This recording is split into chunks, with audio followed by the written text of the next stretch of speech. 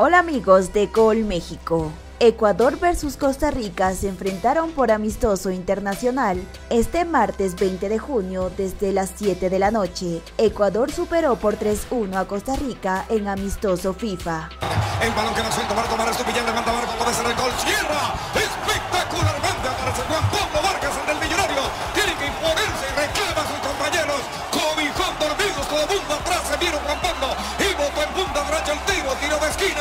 favor del cuadro ecuatoriano.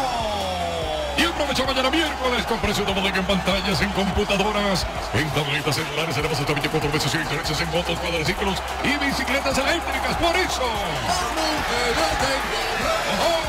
Y va la carga el cuadro ecuatoriano, saca de esquina, no pasa más, servicio atrás, puede venir el gol. Aquí está el remate, servicio atrás, el Valencia,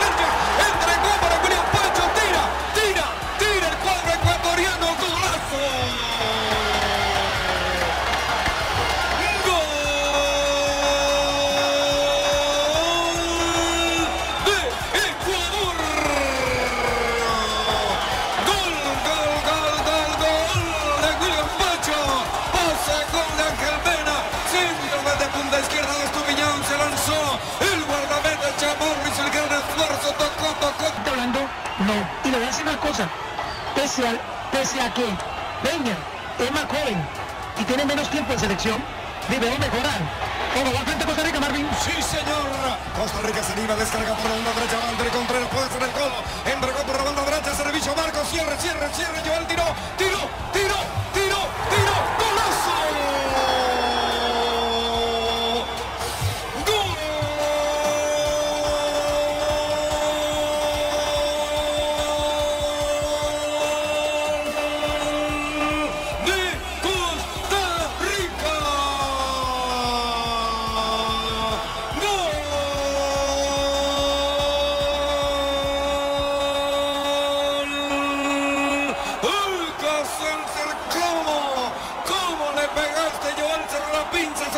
izquierda de la chica. Le pegó un cañonazo a Marco al ángulo superior de la mano derecha del guardameta Domínguez y Costa Rica. Espectacular, ese gol tiene casi que el 90% sello de Carlos Mora en el comentario de Rey Puro León. El rey puro, Yacine, la medida de los ticos. Bueno, ante tanta miseria futbolística que hemos tenido, aquí hay un bálsamo, ¿verdad? Con esta gran acción de Joel Campbell, John el decía yo. equipo de John Guatemala, decía yo. Y es Joel Campbell. Joel Campbell. del equipo ecuatoriano. El remate Tío Pelón voló el portero iba por la, por la bola. La logró tocar cerca del paral, pero en la raíz del mismo se incrustó caprichosamente. El remate de Tío Pelón y el gol es a favor. El gol es Alcacelser a favor de Ecuador. 3 por 1 el marcador Colombia y así Quesada. Comente mundialista Andoni Porras también con cafecito rey puro. Café Rey Puro, Café Rey Puro, la bebida de los ticos.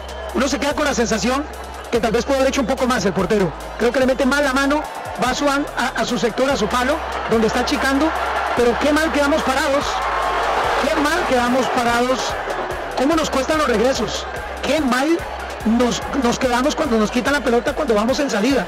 Pero de verdad, qué mal los regresos de Costa Rica, qué poco orden táctico ahí, faltó presión en la marca, Peña se quedó pegado, igualmente Wilmer Azofeifa, ninguno tapa al hombre que viene acompañando atrás y viene el remate con falta de presión también del propio Francisco Calvo.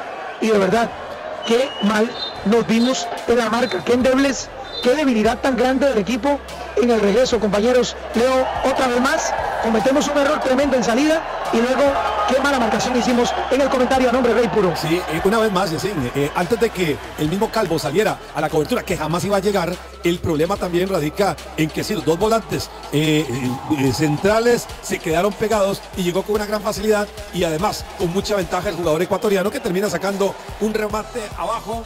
Sí, yo creo que pudo haber hecho algo más.